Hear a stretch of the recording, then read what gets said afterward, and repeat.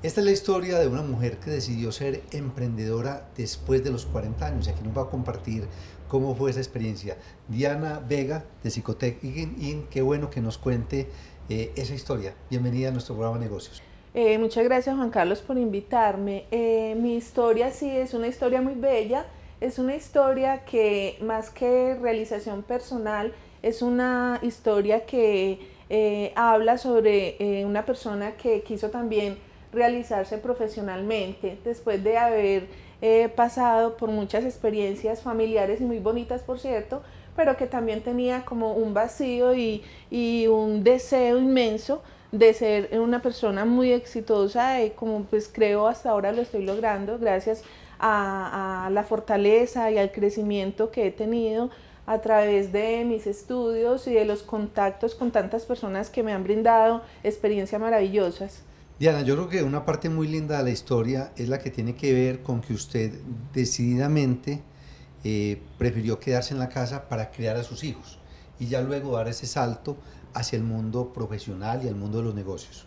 Claro, todo pasó cuando yo tenía aproximadamente 19 años que empecé a trabajar en el banco cafetero, que fue donde tuve mi primer inicio como eh, desde la parte laboral.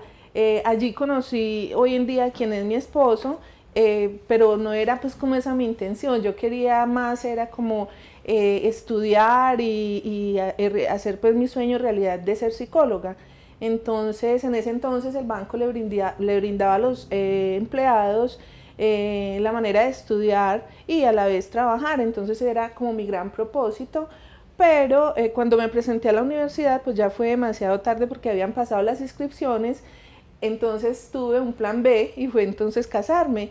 Me casé, eh, estuve trabajando durante ocho años en el banco, pero eh, cuando ya mis hijos estaban poco ya como necesitando eh, de su mamá, pues entonces quise retirarme y quedarme en mi casa con mis hijos.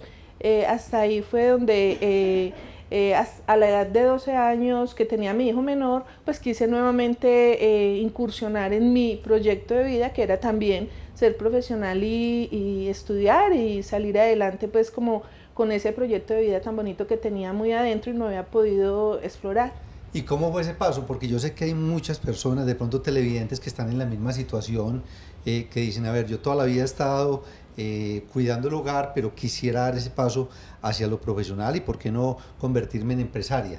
¿Cómo lo hizo usted? Bueno, pues fue un paso bastante hermoso, diría yo, porque eh, fue cuando estaba en casa y había terminado pues como de hacer mis quehaceres domésticos y sin embargo había algo que como que me llamaba la atención de, de la afuera, de querer pues también como brindar muchas cosas de mí y recibir también. Sin embargo, en la casa no lo estaba consiguiendo porque ya creo que había completado pues como mi ciclo allí, en, entre comillas, ¿cierto? Pero eh, decidí entonces eh, inscribirme en la universidad en ese momento, fue algo pues como que eh, salió de mí, fui, me inscribí, pasé toda la documentación que requería, y cuando ya lo hice, pues perfectamente eh, terminé todos mis estudios, no me atrasé absolutamente ninguna materia, pues eh, estudié muy juiciosita eh, todo el tiempo que se requería para salir, pues porque yo ya tenía 35 años cuando empecé a estudiar, entonces quería terminar lo más rápidamente posible. Y ahora hablemos del emprendimiento. ¿Qué fue lo que fundó como compañía? Bueno, yo cuando salí de estudiar el grado, ¿cierto? Que era psicóloga ya, me encontré con una situación eh, que muchas personas se encuentran y es el desempleo. Envié muchísimas hojas de vida y resulta que no, no me llamaron absolutamente a ninguna entrevista y entonces pues yo decidí no voy a hacer mi especialización en psicología organizacional y mi primer servicio a prestar va a ser el suministro y selección de personal para personas que sean adultas como yo y que también tienen derecho a tener una oportunidad laboral y por qué no desde la experiencia y desde la madurez y la responsabilidad.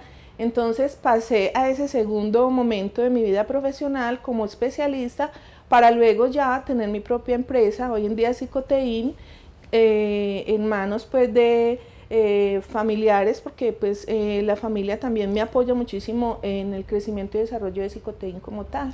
Vamos a hablar sobre el que usted considera ha sido uno de los grandes aprendizajes en esto de hacer emprendimiento, que es lo que tiene que ver con las alianzas.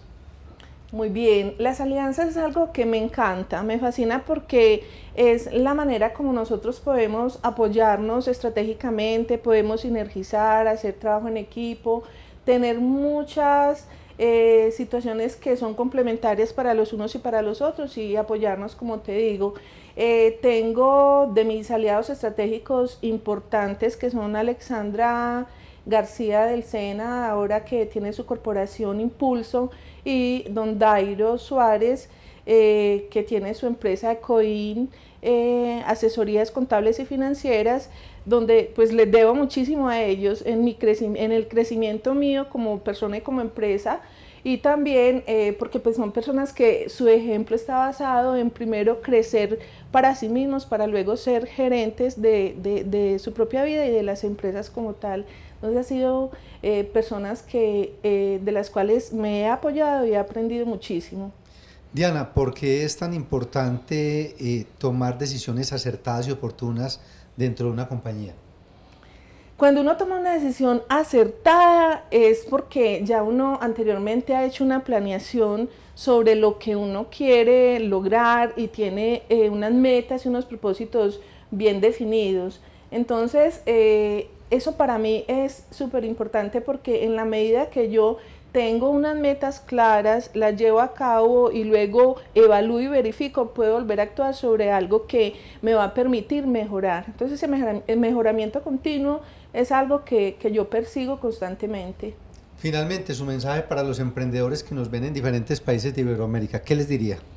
Muchísimas cosas. Eh, nosotros eh, estamos acostumbrados a que muchas veces las cosas no se nos dan y fácilmente podemos eh, dejar pues como las cosas así. Pero no, la vida está llena de sacrificios, de metas por cumplir, de sueños y todos los sueños que nos propongamos se pueden hacer realidad. Solo es tener eh, las ganas, el positivismo, el empuje, la berriondera, eh, como les decía ahorita, las metas claras y también eh, contar con personas a nuestro lado que siempre van a estar apoyándonos y motivándonos. Entonces todo eso es, es la forma como nosotros podemos realmente salir adelante y cumplir nuestros sueños y todas nuestras metas que nos propongamos. Diana, finalmente, ¿por qué su interés en participar en nuestra maratón de emprendimiento de negocios en tu mundo que hacíamos con Créame y con el apoyo de CEIPA Business School? Bueno, me llama muchísimo la atención la palabra visibilidad para las empresas. Me parece que es la manera eh, donde nosotros los empresarios podemos apoyarnos y podemos eh, apalancarnos para poder a través de eh, este tipo de entrevistas y de comunicación sobre quiénes somos realmente, darnos a conocer, ¿cierto? Psicoteína es una empresa que brinda apoyo y fortalecimiento al área de recursos humanos y también eh, en muchos procesos que son los que eh, requieren en este momento tanto las micro como pequeñas y medianas empresas son evaluación de desempeño por competencias, evaluación de clima y cultura organizacional, evaluación de factores de riesgo psicosocial basados en la resolución 2646 del 2008. Entonces todo esto son eh, temas y muchos otros pues que hacemos desde el área de recursos humanos que brindan la posibilidad de que todos a través de un gana y gana podamos salir adelante y es pues como nuestra mejor intención desde Psicoteía y Gestión Humana Integral. Bueno Diana, muchísimas gracias por estar con nosotros. Muchas gracias, Juan Carlos. Muy bien, este es Negocios en tu Mundo para aprender y disfrutar del mundo empresarial.